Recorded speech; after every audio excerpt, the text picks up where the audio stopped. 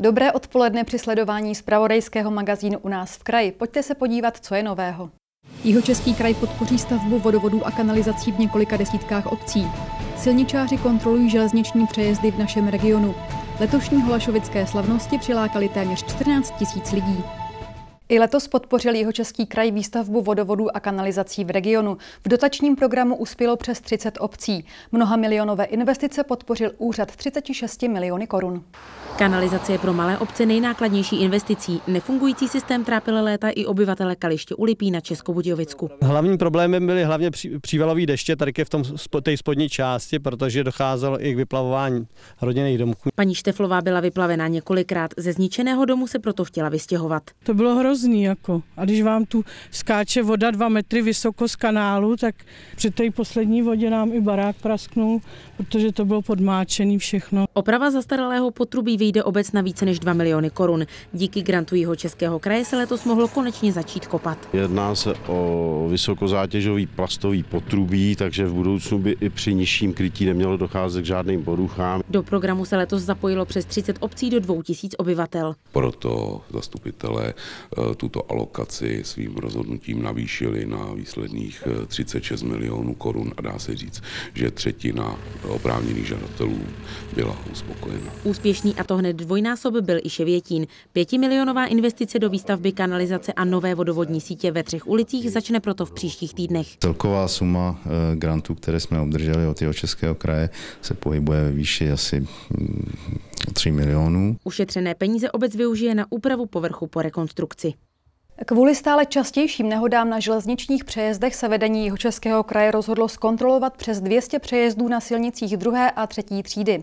Nejnebezpečnější místa pracovníci zprávy a údržby silnic zmapují, pak po dohodě s drahami zajistí jejich bezpečnost.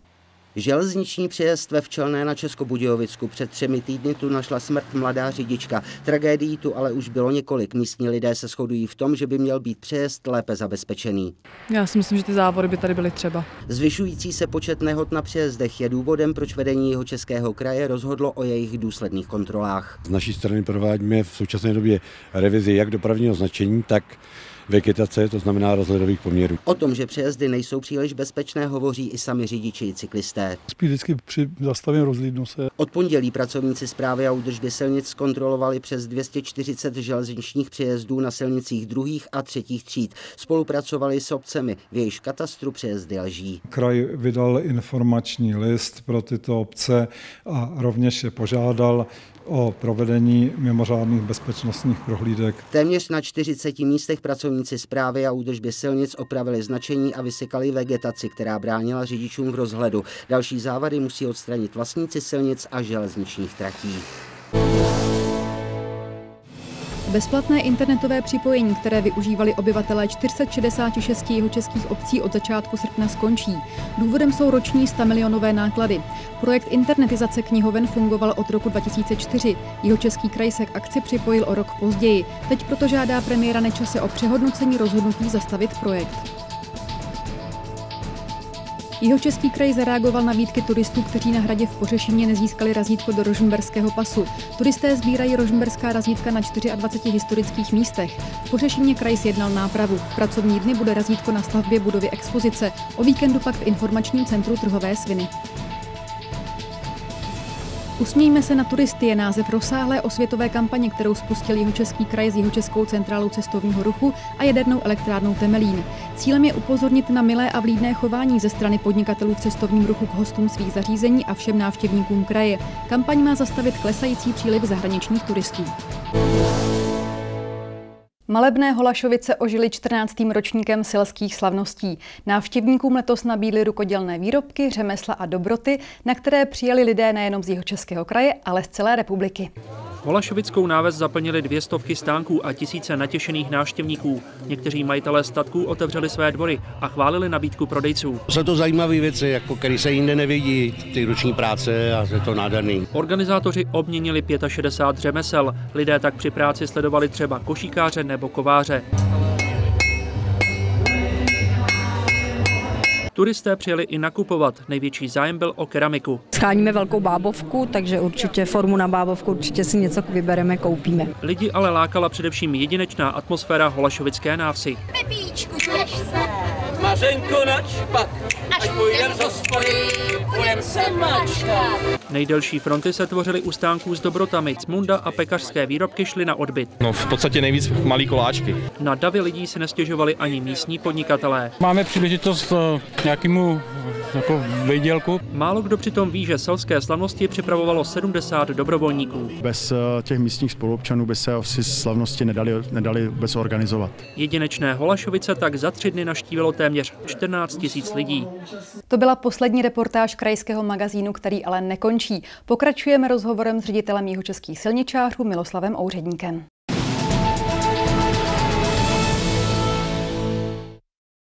Přeji vám dobrý den.